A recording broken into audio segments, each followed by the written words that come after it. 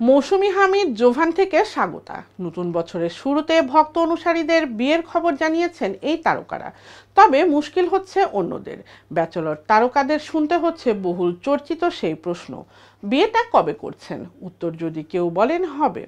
তখন প্রশ্নকর্তারা আরও এক ধাপ এগিয়ে বিয়ের দিনক্ষণ জানতে চান। ব্যাচেলর তারকারা বিয়ে নিয়ে প্রশ্ন এড়াতে চাইলেও বিয়ের প্রসঙ্গ যেন তাদের ছাড়ে না। তারকাদের গল্প আড্ডায় এ নিয়ে মজার ঘটনাও ঘটেছে। এ প্রসঙ্গে কথা বলেছেন জায়েদ খান। আব্দুল নুন সজর, আসনা হাবিব ভাবনা, সাফা কবির, তানজিম সায়েরা, তটিনী ও পশ্চিমবঙ্গের অভিনেত্রী সায়ন্তিকার দর্শক আজ জানাব জায়েদ খানের বউ হওয়ার প্রশ্নের জবাব। বিয়ে নিয়ে প্রায়ই ট্রলের শিকার হন চিত্রনায়ক জায়দ খান। সেগুলো তারও চোখে পড়ে। কিন্তু এসব নিয়ে কে কি বলেন তা নিয়ে ভাবেন না এই অভিনেত্রী। তিনি মনে করেন দিন শেষে বিয়েটা তো তাকেই করতে হবে, তাকেই সংসার করতে হবে। তাই ট্রল দেখে আবেগের বসে ভুল সিদ্ধান্ত নিতে চান না। তিনি বলেন, আমি আবেগের বসে বিয়ে করব না। সত্যি বলতে আমার বিয়ের ম্যাচিউরিটি আসে নাই। পরিবারের কাছে আমি এখনও ছোট। তারা সবাই একই কথা বলে, এজন্য আমি বিয়ে নিয়ে সময় নিতে চাই।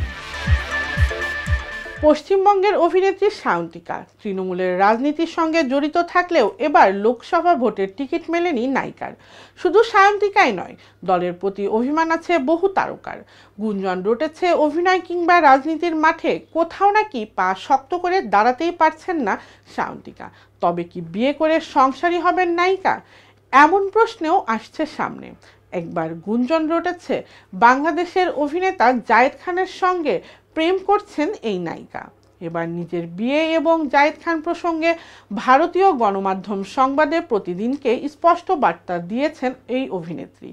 আপনি কি বাংলাদেশের বউ হচ্ছেন? এমন প্রশ্নের জবাবে সায়ন্তিকা বলেন, না না, একেবারেই না, কারও বউ হচ্ছি না। তাহলে জায়েদ খানের বউ হচ্ছেন না? এমন প্রশ্নে সায়ন্তিকা বলেন, আমি কারও নামে মিথ্যে অপবাদ দেই না।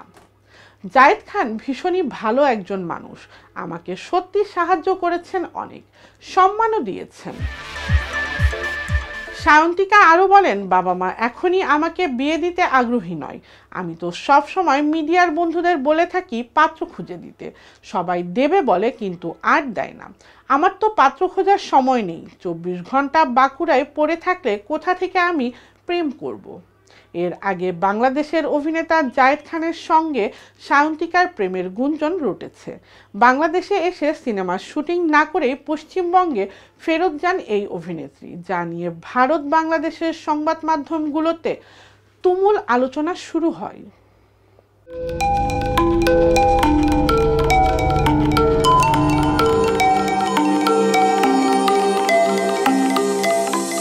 টিভি দেশ দশের কথা বলে।